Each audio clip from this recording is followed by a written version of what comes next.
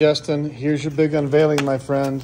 This is Brandon. How you doing, Justin? He's been working on this for I don't know how many weeks. oh God, we're not at gonna least go there. at least a couple weeks. at least a couple. Here is your lid.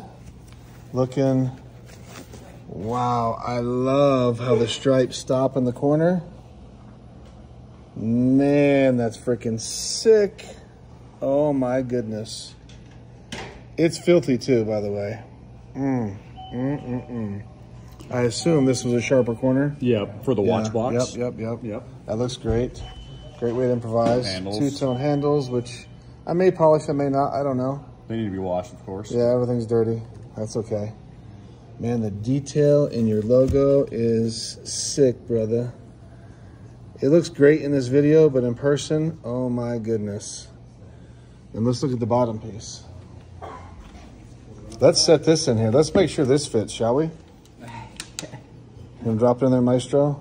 Needs to be cleaned out a little bit. That's a low spot. That's okay.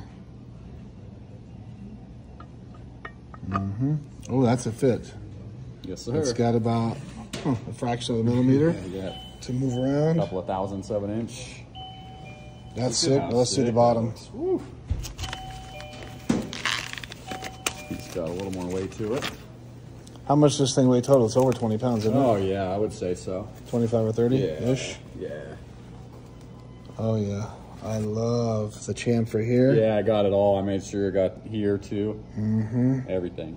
So here's where your 50K is going to go. Don't tip that over now because the skull will fall out.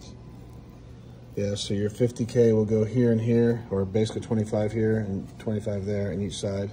Your flash drives here, all your gold.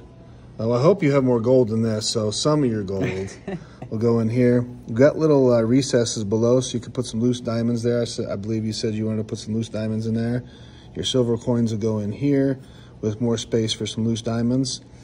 And then your Apple AirTag, which will be here in the morning. I'm not going to give you one of mine. And then of course we have a little hole there so that we can get the signal out for the AirTag so it won't lose signal when you uh, close it up. And man, this is really, really impressive, bro. My boys killed it on this. Be nice if it was centered. I'm just kidding. Yeah. Can I see the bottom of that, Brandon? you can. And of course, the dirty GPC logo. I was debating. I was going to make it this big, but I don't want to take away from yours. So I decided to go a little smaller on this one. The next one, though, I'm going to max out my logo, though, so you can really represent the Big Boy Club. See you, brother.